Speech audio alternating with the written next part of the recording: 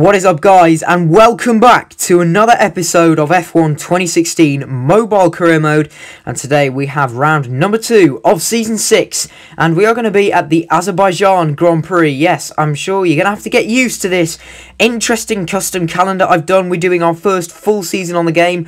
We started out at Monaco just to spice things up. There's some gameplay from that on the screen now. As you can see, we have finally decided to jump into a Mercedes. We're driving as Nico Rosberg this season.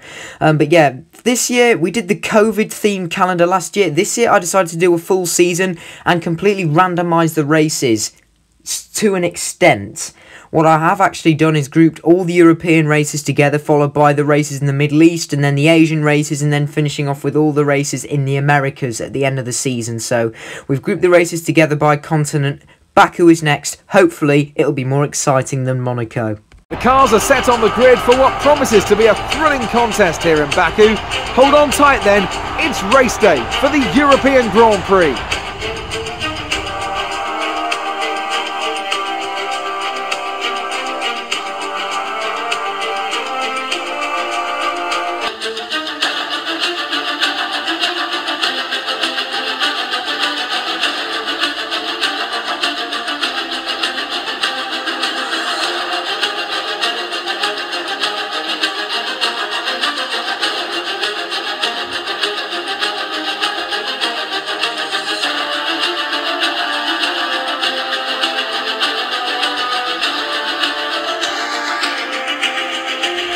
Very close qualifying to say for sure. Hamilton managing to snatch pole away from me by just 24 milliseconds at the end of qualifying. So it was very close on Saturday.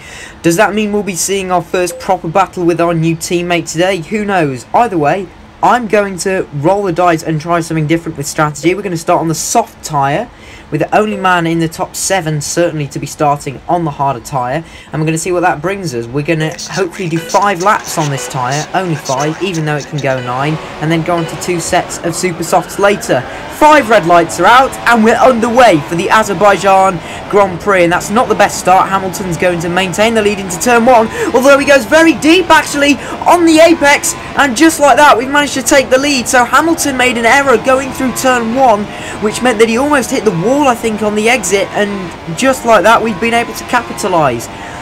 Something that I want to quickly talk about going back to setup is I've actually taken quite a bit of downforce extra downforce to make us quicker through the corner. So we are going to be quite slow on the straights, as we might be about to see now. At the end of lap one, you can see Hamilton gaining, gaining, gaining, gaining, but he's not quite close enough. We're just about holding firm. What I'm trying to do is not make myself too OP on the straights, and I actually want to have decent speed going through the corners so he can pull away, just like we have done, although I had to lift off for a fraction just to make sure that I didn't completely lose the car. It was a slight snap of oversteer. At the end of lap two, here comes Lewis Hamilton. Now you can see the proximity arrow. Hamilton pulls out. He flies past. That's what you get if you have minimum downforce However, Hamilton has to brake earlier as a result of that, and we can just sail back round the outside. Here we go, guys. I can smell a battle between myself and Lewis Hamilton here on the streets of Baku. We've already massively pulled away from Kimi Raikkonen in third, and we are just in a league of our own. I'm slightly weaving now to break the slipstream from Hamilton to ensure that he can't have another go at us down towards turn three. But now look at that. P1 of 20. There are 22 drivers on the grid. I've just happened to notice Oh, we've got a yellow flag. I wonder what this is for near the castle section. I'm going to back off a minute because obviously you cannot overtake anything through here. Okay, it's green flag now. But Hulkenberg's up into P3 and there are now two drivers out of the race.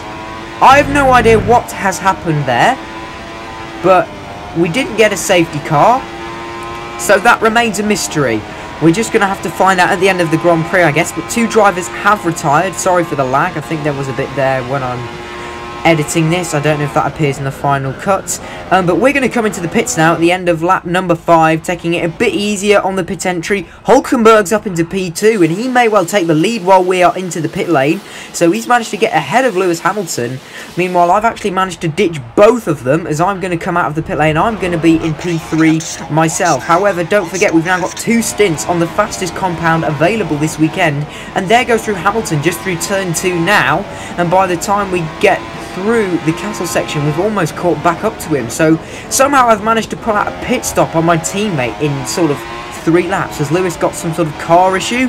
I'm not sure, but we're going to try not to hit the back of him. Hamilton's going to go deep. I'm going to get a better exit. My tyres are a lot fresher. We're going to get up into P2. Hulkenberg's in the lead, although I suspect he'll be pulling into the pits at the end of this lap. Hamilton will be staying out. I have taken a bit of wing off the car to make myself a little bit quicker on the straight. And we are now going to go for a proper push lap, a proper fastest lap attempt. So we are going to go for a time lapse around the Baku Street Circuit as we retake the lead. So I seem to have very good pace here. I'm already leaving Hamilton for dust.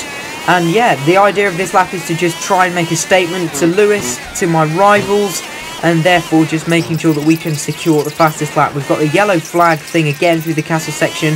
That turns out that was bugged. That happens every lap for the rest of the Grand Prix, so I don't know why. We were nearly a second up in the first sector. We're nearly seven tenths up in the middle sector. What a lap this has been, ladies and gents, as we cut back to the original speed. And it's a 139.4. We were nearly over half a second quicker in the final sector as well. Bottas now into third. Um, and yeah, I think that was about three or four seconds quicker than my previous PB lap. But now look at this. The AI is stuck on the pit exit. And then they have despawned. What on earth? Have I just solved the mystery of the Baku glitch cars disappearing? Because look, there's dots just randomly on the minimap there. We can see on the left hand side to me now.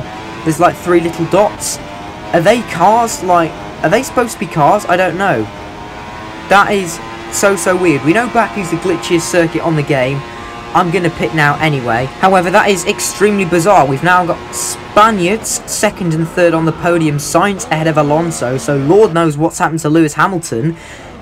It seems cruel to say, but that's all the better for me, despite not good for the team, because he's going to be my main championship rival two under 2.1 second pit stop. That might be the best pit stop I've ever had. I don't know. I've taken even more wing off the car because I want to try and see if I can beat my own fastest lap. Just to make another statement out there.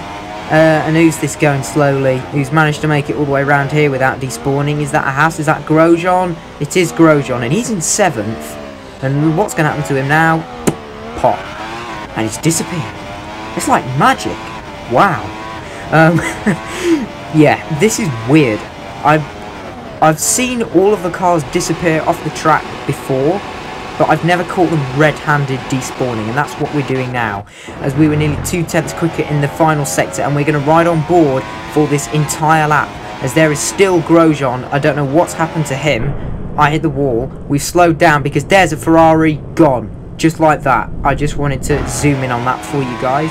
Uh, was that Sebastian Vettel? I don't know. If he is, he's in third place, so well done to him. He might be about to get a podium in this season, just like he did at Monaco. That'll be back-to-back -back. third places. I would nearly went too deep there. I was very, very late on the brakes, put the bravery pants on as we are going through this very twisty technical first sector which is a lot harder than it looks given the fact that I'm running such low downforce now after the second pit stop but it's all the better because we'll get so much better traction, acceleration out of corners and of course that mega long pit straight we're just going to be so OP. We are unfortunately a tenth down in the first sector so however I'm still pretty confident that we can make that up throughout the rest of the lap particularly through the final sector which is largely taken flat out so all is not lost, we can still get this lap. The time to beat is a 139.435 as we are now heading towards what I think is the toughest corner on the track. It's very, very easy to misjudge your braking point, especially with low downforce, although we absolutely seem to nail that as we're now coming down to what is the final, final corner. Nearly six tenths up in the middle sector, so there you go. We are looking like we are going to be ahead of target to beat this lap now. These two are technically the final corners because the rest of it's just flat out all the way to the finish line. Here we come, we can now just watch and wait and see what the lap is going to be. Sainz is still holding P2, we're about to start the final lap of the race, so it looks like the Toro Rosso driver is going to get an epic podium as we improve to a 138.643. That was nearly 8 tenths quicker, there's Vettel in the wall. Deary me, and is this a Haas? There's still Grosjean, so he still managed to not despawn yet. Congratulations to him. That was very, very, very too late. um, but yeah, this might have been the easiest win of my entire time playing this game, to be honest. As you've seen, you know, I almost pretty much stopped. In fact, I reversed at one point to see the AI despawn in the form of Wehrlein and Ericsson. So, yeah, we're going to make it two from two in a Mercedes as we are going to take the checkered flag first and we are going to win the Azerbaijan Grand Prix in very convincing fashion and stamp our authority on this championship. Two from two, 100%.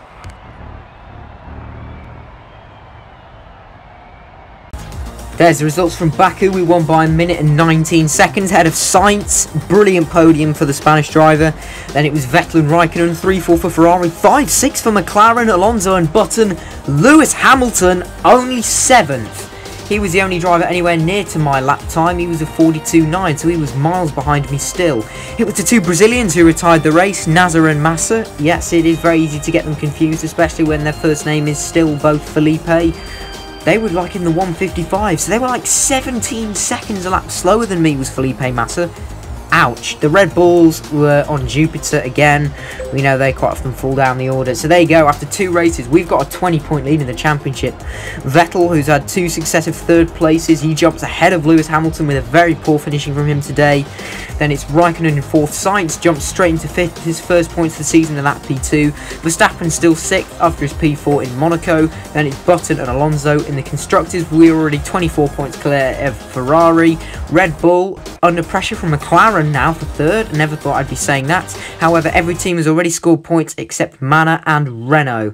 And that's it for today's video, guys. If you enjoyed, please be sure to like, share and subscribe. Don't forget to follow me on Instagram or join my Discord server. Both links are in the description below. And I'll see you guys on next time. Goodbye.